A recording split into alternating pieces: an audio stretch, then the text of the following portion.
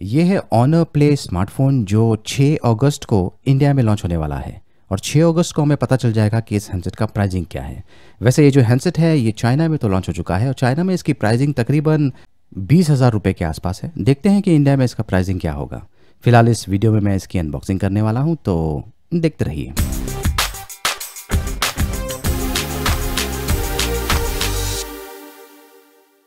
नमस्कार दोस्तों, मैं हूँ गोगी और ये है ऑनर प्ले स्मार्टफ़ोन और जैसे कि मैंने कहा, ये जो हैंडसेट है 6 अगस्त को इंडिया में लॉन्च होने वाला है। लेकिन मैं आपको इसकी अनबॉक्सिंग करके अभी बता देता हूँ। तो ये है इसका बॉक्स पैक और इसे मैं खोल देता हूँ। देखते हैं कि अंदर हमें क्या क्या मिलता है।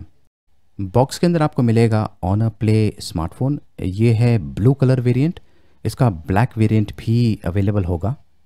यह हैंडसेट डुअल ए कैमराज के साथ में आता है और इसकी जो बॉडी है, ये फुल मेटल बॉडी है। ये बहुत ही प्रीमियम किस्म का स्मार्टफ़ोन है। फ़िलहाल इसे मैं साइड में रख देता हूँ और देखते हैं कि इसके अलावा हमें बॉक्स में क्या क्या मिलता है।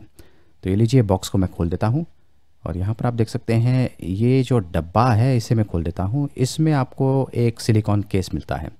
तो अब काफ़ी ब्रांड्स ने ये जो केस होता है, सिलिकॉन केस, ये देना शुरू कर दिया है। इसमें भी आपको मिल जाता है। और ये है डेटा केबल। ये U S B to U S B type C data cable है। ये देखिए। बॉक्स के अंदर आपको एक सिम ट्रे भी मिलता है, लेकिन कुछ कारणवश मुझे यहाँ पर नहीं मिला। और जो अंतिम कंटेंट है, वो है ये ट्रैवल चार्जर अभी जो ट्रैवल चार्जर है, इसकी रेटिंग है नाइन वोल्ट्स टू एम्प ये एक फास्ट चार्जर है। तो बस ये सारी चीज़ें हैं जो आपको बॉक्स के अंदर मिलेगी। तो ये है ऑनर प्ले स्मार्टफ़ोन जो जल्द ही इंडिया में लॉन्च होने वाला है। और जैसा कि मैंने कहा, इसकी जो बॉडी है, ये मेटल की बनी हुई है। बहुत ही बढ़िया बिल्ड और फिनिशिंग है प्रीमियम लगता है।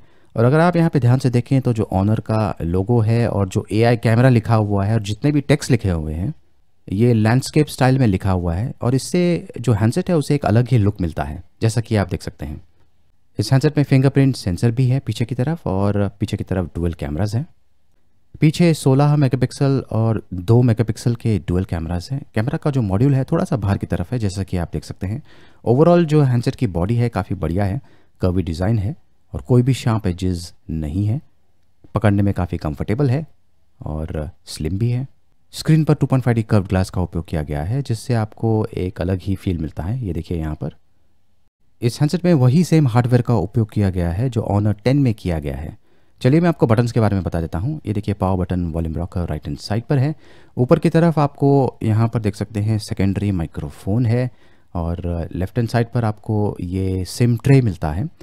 और नीचे की तरफ़ यहाँ पर देख सकते हैं, ये है स्पीकर आउट वेंट ये है माइक्रोफोन ये है यूएसबी टाइप सी पोर्ट और ये है ऑडियो जैक इस पर जो स्क्रीन है, ये 6.3 पॉइंट इंचेस का है फुल एचडी प्लस रेजोल्यूशन के साथ में आईपीएस एलसीडी स्क्रीन है 19.5 point five is to nine का एस्पेक्ट रेशियो है. E M U I run हो रहा है, जो एंड्रॉयड ओरियो बेस्ड है. स्क्रीन की क्वालिटी वाकई में काफ़ी बढ़िया है और देख सकते हैं, यहाँ पर आपको नॉट स्टाइल डिस्प्ले भी मिलता है। स्मार्टफ़ोन में एआई टेक्नोलॉजी का उपयोग किया गया है। कैमरा में भी एआई का ऑप्शन दिया गया है। फिंगरप्रिंट सेंसर है फेस अनलॉक है। हार्डवेयर की अगर बात करें तो जैसा कि मैंने कहा, इसमें वही सेम हार्डवेयर का उपयोग किया गया है जो ऑनर टेन में उपयोग किया गया है। मतलब कि इसमें क्यूरीन 970 ऑक्टोकोर प्रोसेसर का उपयोग किया गया है। और ये जो 970 चिपसेट है, इसमें एक स्पेशल न्यूरल प्रोसेसिंग यूनिट है जो एआई को हैंडल करता है। इस हैंडसेट की एक और खासियत यह है कि इसमें जीपीयू टर्बो टेक्नोलॉजी का उपयोग किया गया है और ऑनर के मुताबिक ये जो टेक्नोलॉजी है जीपीयू टर्बो ये जो गेमिंग परफॉर्मेंस है, इसे काफ़ी हद तक इम्प्रूव करता है। साथ में बैटरी लाइफ भी इम्प्रूव हो जाती है। इसमें फोर जी रैम है sixty four internal storage space है और सोलह मेगापिक्सल का फ्रंट कैमरा है और बैटरी तीन हज़ार सात सौ पचास एम की नॉन रिमूवेबल इस हैंडसेट का पूरा रिव्यू मैं छः तारीख को लेके आऊँगा। जब ये जो हैंडसेट है ऑफिशियली अनाउंस हो जाएगा, तब हमें इसका प्राइस भी पता चल जाएगा। तो ये हैंडसेट आपको कैसा लगा इसके बारे में मुझे ज़रूर बताइए।